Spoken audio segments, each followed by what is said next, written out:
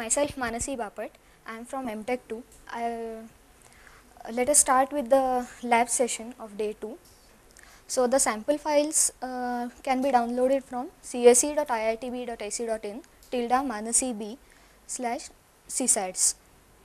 So please open this in your Firefox. You will see day2 lab.zip. You have to download this file.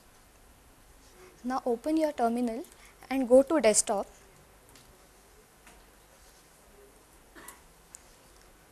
and say unzip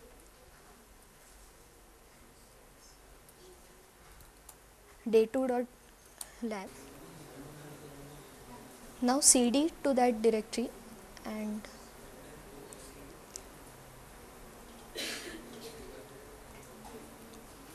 everybody is done with this this much? Now if you type ls it shows you the list of files. Now let us start linux basic commands are uh, of five types.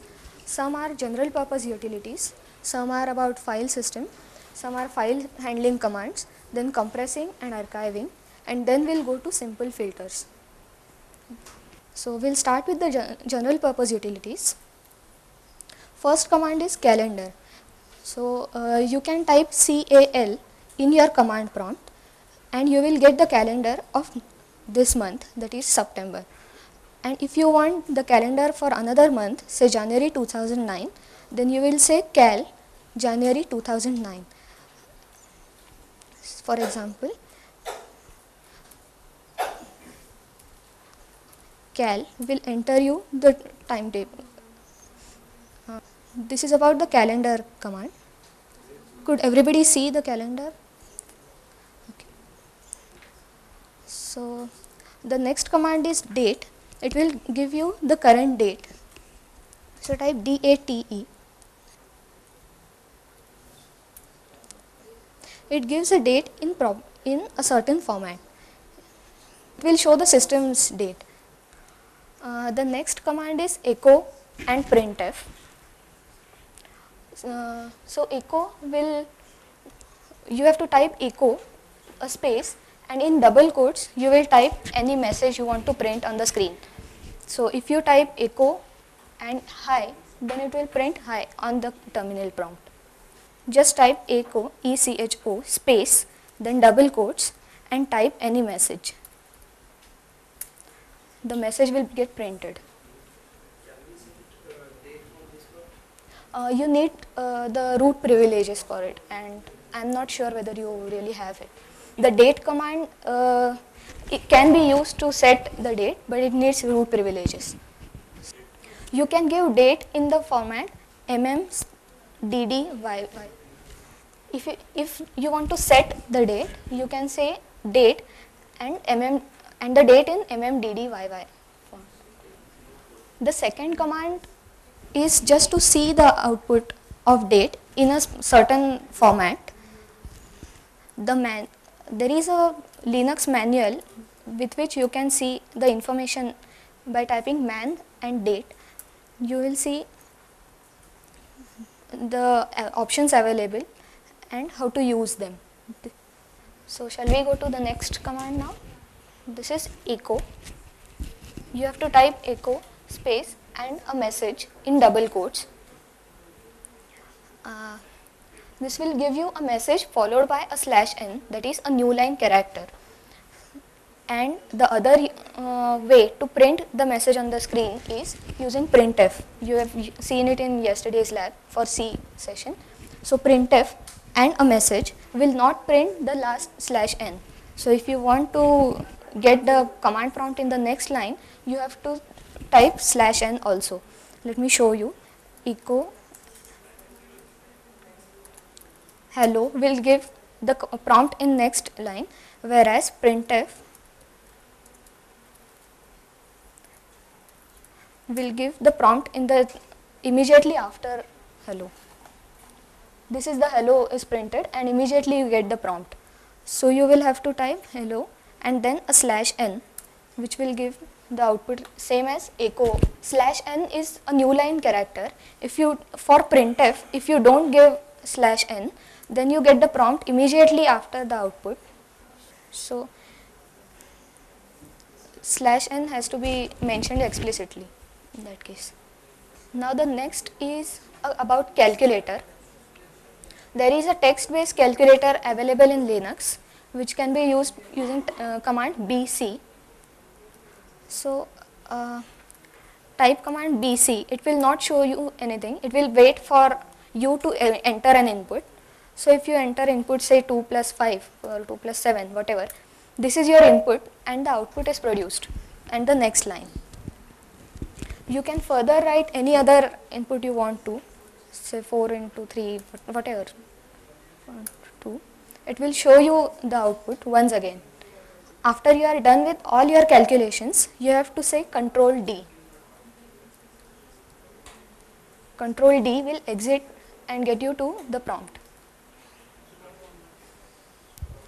There is also a calculator xcalc available in graphical mode. You can type command xcalc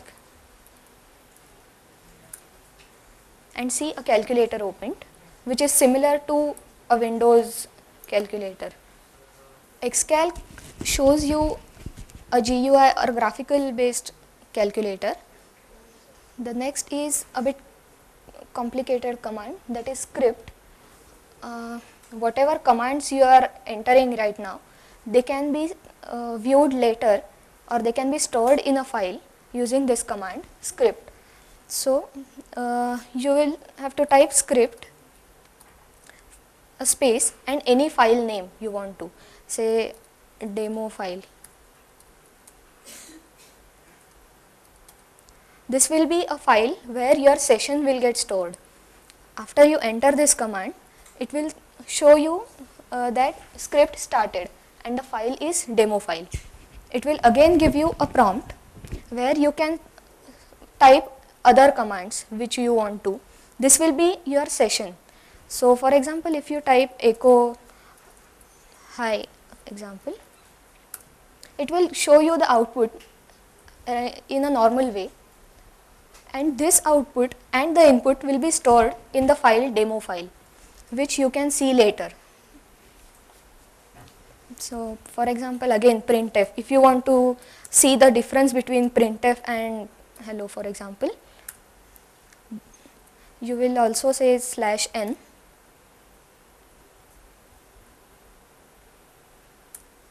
This all these things are getting stored in the file demo file. After you you are done with your session or storing this session you have to type control D once again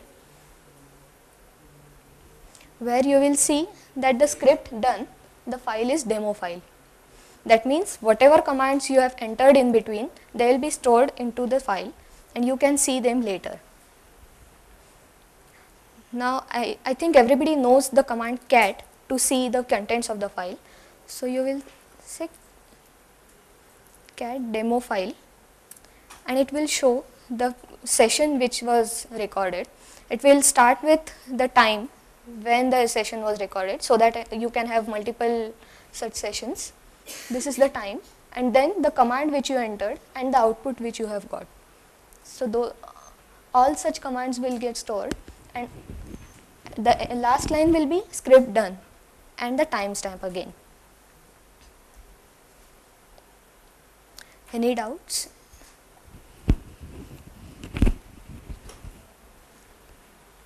So this file will remain in your uh, directory. So if you type ls, you will see this file, demo file. So you can view the contents later also. Uh, since you said that this is a session file, that is, it will store the session, part of the session that Yes, we want. yes. So once you exit the terminal and come back to the terminal, will you have the file still, or it's Yeah, lost you after? do have the file. So it will remain in your directory. Okay, so it is not like a session per se file No, no, wherein no. you exit the session and the file is no, lost. no, file is not lost. This is there to store your session. So it will be re- it will remain in the same directory, day 2 lab directory. Okay.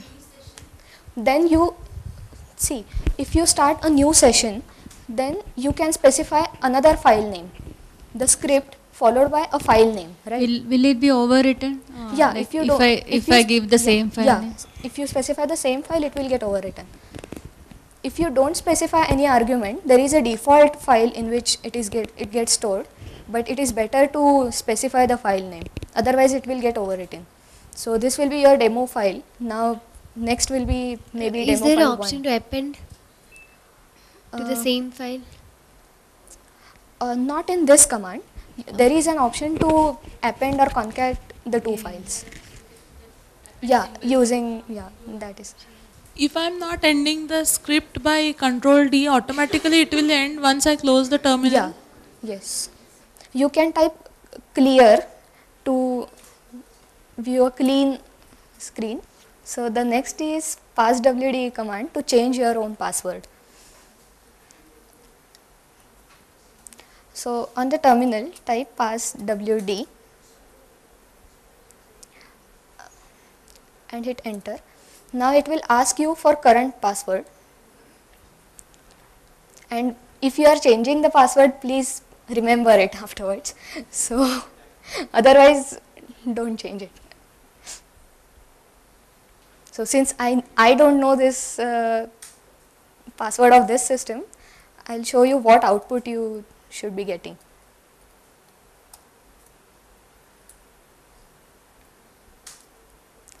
It will ask for the current password. After that after you enter the password correctly it will ask for the new password which you want to set now.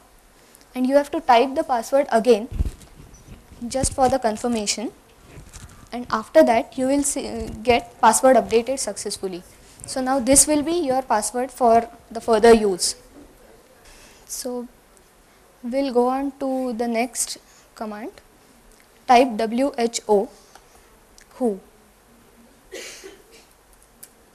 it will show you uh, how many users are logged in currently to your system.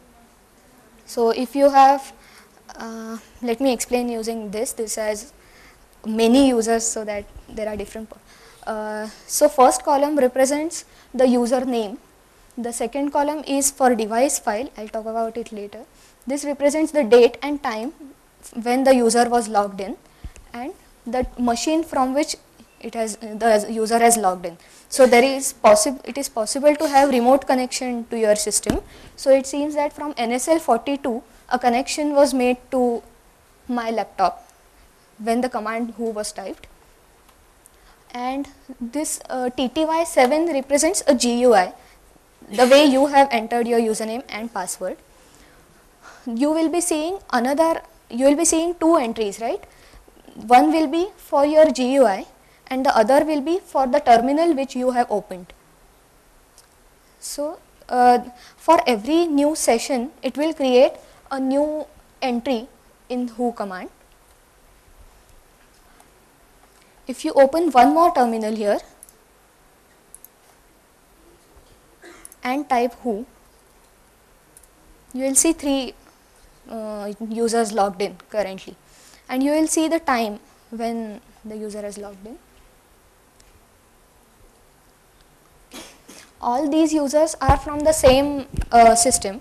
Uh, nobody is remotely connected to my system. So I am getting 0 colon 0, 0 dot 0 and all. And otherwise, if you have the remote connection, you will see the machine's IP, for example, NSL 42 or 10 point whatever. There is uh, some kind of powerful way of knowing what those users are doing on my system. So type W to see that. It gives you another information uh, that is idle time for how much time the user was idle. And it will also show what the user is doing. This shows X session means GUI. Some user is typing W command and there is another guest user which is doing some bash operations that is some operations on the terminal. So this gives you uh, a kind of detailed information with the idle field if the connection was not closed properly this idle field can contain uh, say one day or two days or such kind of entries which you will know after typing w command. Now this is the most important command which I think you will use quite often, the manual page. Uh, this gives the detailed information and all the options. It uh, generally the options are more than one page, so it will show you the first page. For going to the next page, you will uh, hit space or page down and Q to quit. So, for example, man of ls will give uh, the options and the it will basically give you the usage and then it will give all the options. So minus a it has uh, do not ignore entries starting with dot. This is about the hidden files which may you may or may not be knowing. So these are all the available options here. Uh, I would like to explain the option minus L which is the which is about long listing. Use a long listing format. It gives the permissions and the detailed uh, information about the files. So ls will give only the list and minus l will give the other information. We'll talk about this later. It gives you the user uh, the owner of it and the date, time, etc. So this information can be got. Uh, now we'll talk about the Linux file system and the file system structure. Here uh, slash is the topmost uh, directory. Uh, you are, must be familiar with C drive, D drive in Windows. Similarly, you will have uh, several such uh, file types slash home has home directory of all users. So your username uh, will be present in slash home directory. Uh, the privileged privileged user that is root will have its home directory as slash root. Then there is slash dev which which is for device files. So the USB drive if you connect that will be uh, in the slash dev directory and when you want to access the USB drive you will have to mount it to slash mnt this is a general convention basically. Slash mnt is used to mount the other directories or other devices. So USB which is the external file system that can be accessed like the normal files using uh, by mounting it to slash mnt mount command uh, you can see with man pages. Uh, slash var it contains the variable uh, data like log files slash usr contains the packages which are installed uh, and slash etc is for configuration files. So for my uh, network uh, or nfs installation which you might be doing next uh, tomorrow or day after tomorrow you will be modifying some files or you will be seeing the files in slash etc these are the file system commands we'll see. Uh, the first could be cat. I think you all are knowing it. Say sample.txt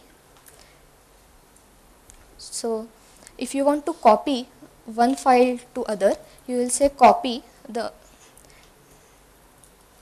you will say copy cp the old file and the new file. So the contents of sample.txt will be copied to another file copy.txt this will retain the initial uh, the file sample.txt and create a new file.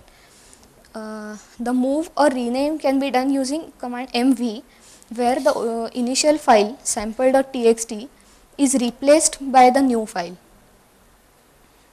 Now uh, creating a directory using mkdir and a directory name. Now if you want to delete a file you will say rm space the name of the file.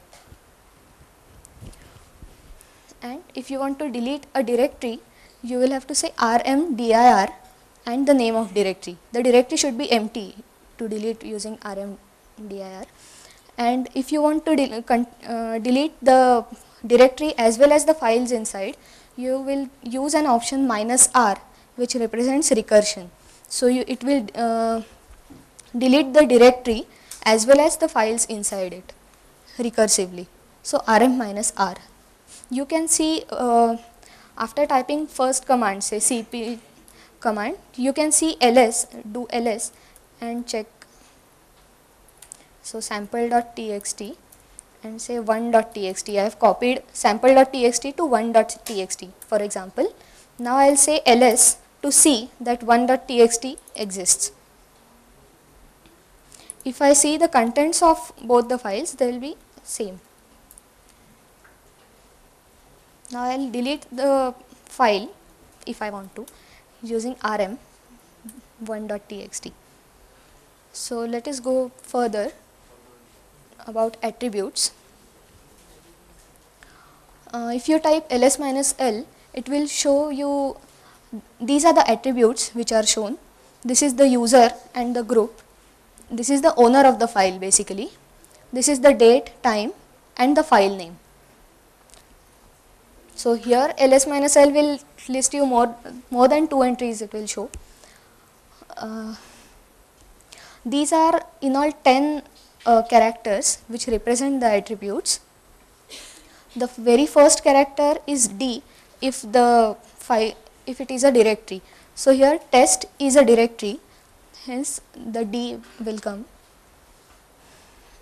And the remaining 9 characters are can be made of group of 3 each which represent permissions. We'll uh, see what are those permissions. They are r w and x for read write and execute of a file. A directory uh, is also a type of file. We'll talk about the permission read write permissions of directory after a bit after a while this is about rwx permissions and these are the three groups where the first group of characters represent the permissions to the owner of the file. Uh, here the owner of the file is Manasi and the group group is uh, for example you people are could be a part of group say workshop and so uh, you will have permissions rwx on a file in your uh, on your laptop and r dash x represents the file uh, the permissions. Yeah.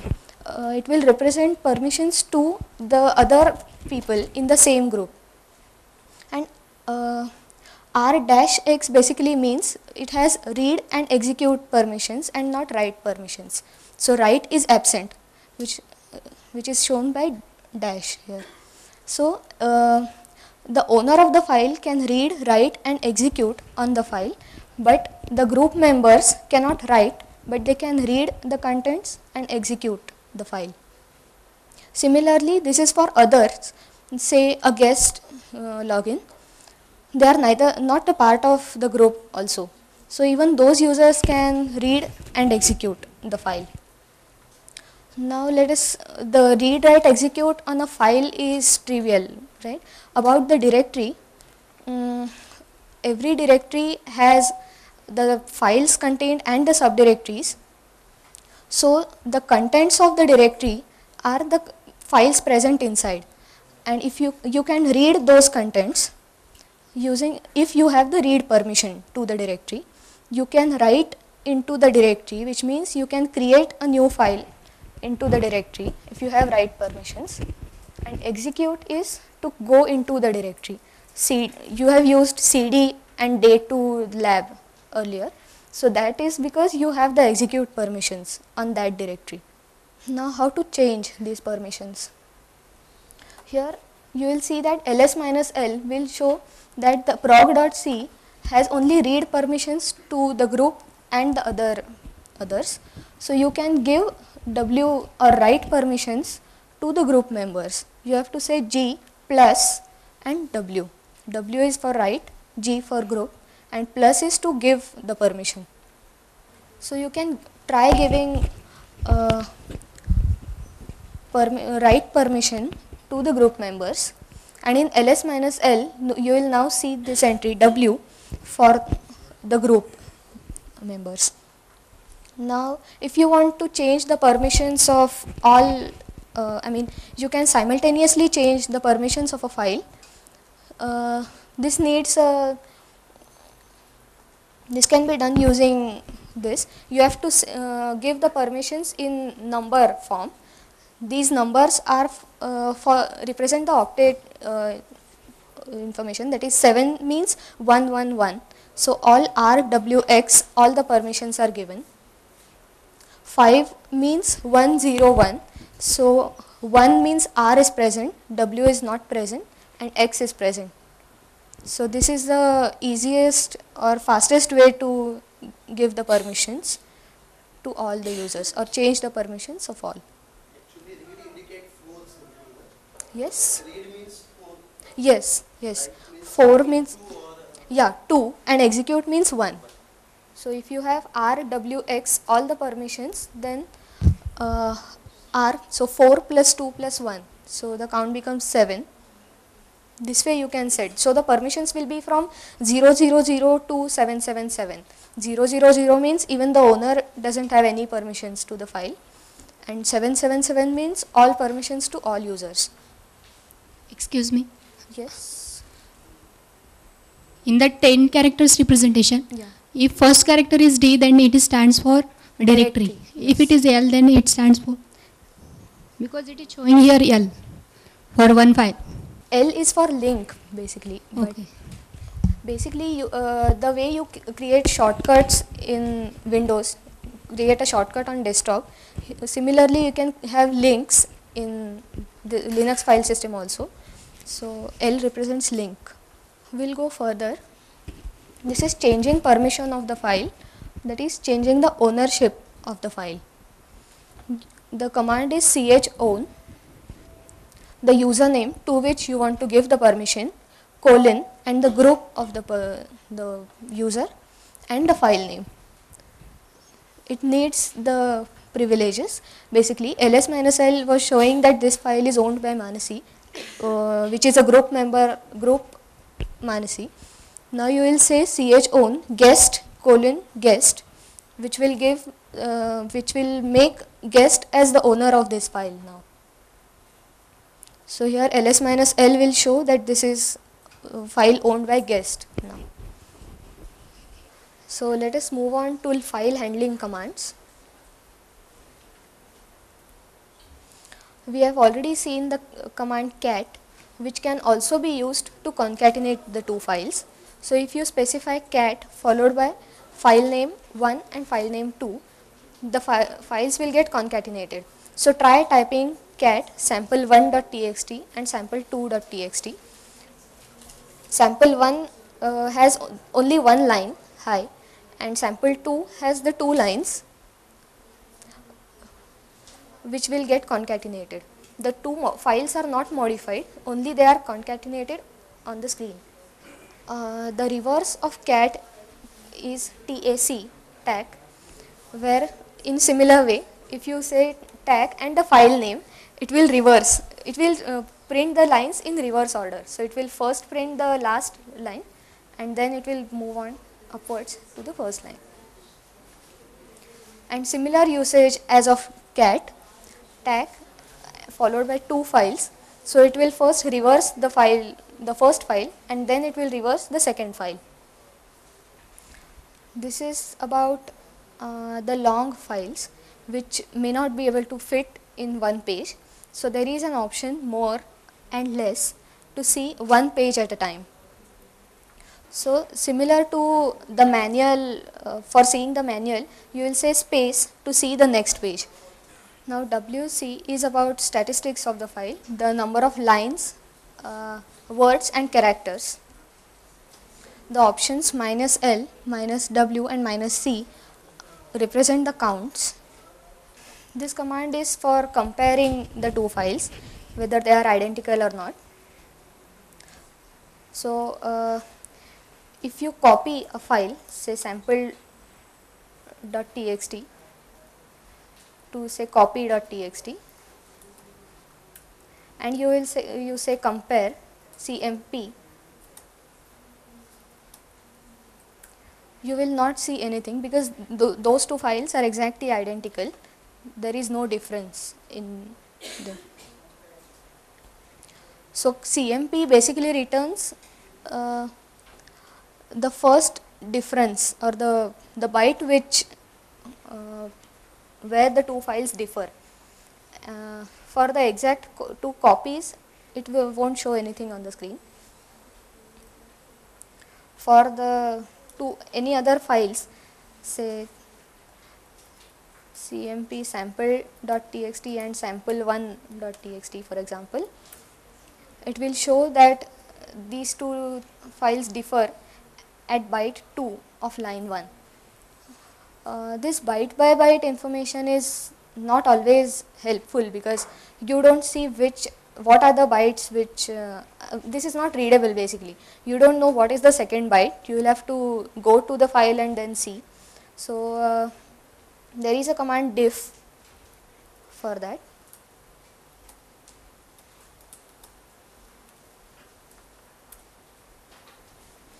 It shows the lines in the first file which are different and the line in second file it's here you can see that those two files have nothing co- common. There is another command to see what all common things the files have. So try typing command comm and file1.txt and file2.txt this will print the output in three columns. The first column is the words in file first file which are not present in second file. The column 2 is for the words in second file which are not present in first file and the third column represents the uh, words common to both the files. So here you can very well see what are the differences and what are the similarities. So let us come to compressing and archiving. Uh, the very first thing which you did uh, downloading the zip file and typing the command unzip that was about compressing and archiving there are several commands to do compress compression and archiving. This is basically used for backups. So the files the i had to give you a set a bunch of files which i create which i compressed and made a single file out of it.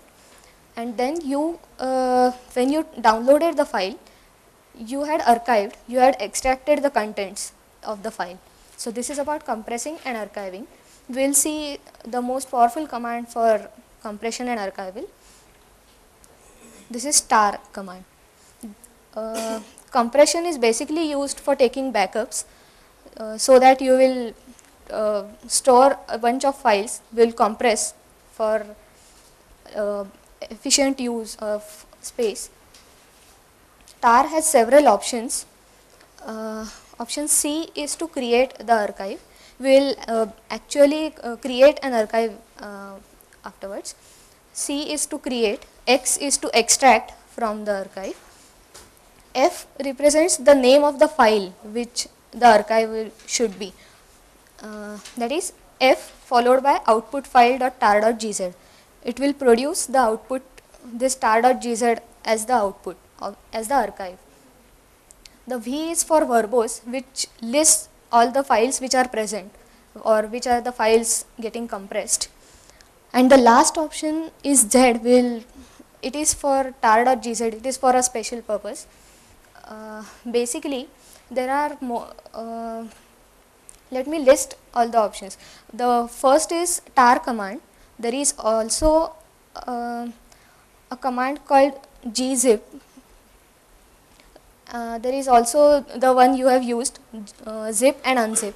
So uh, this z option enables us to com combine both the options of command tar and gz so it will first uh, combine the files into a single file and then it will compress the file. So we'll see the usage. So type tar minus zcvf here c will represent the creating of archive.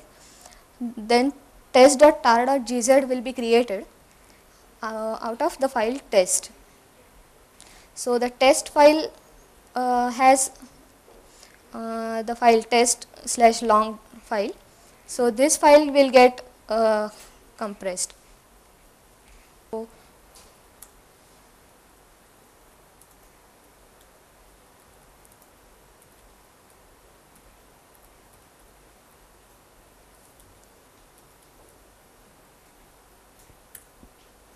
Now if I do ls, I will see that test.tar.gz is getting created.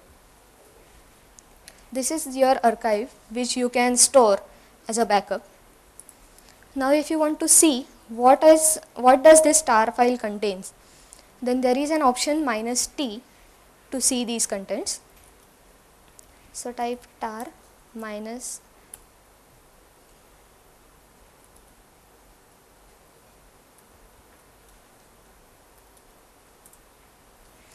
it will list what all files are present.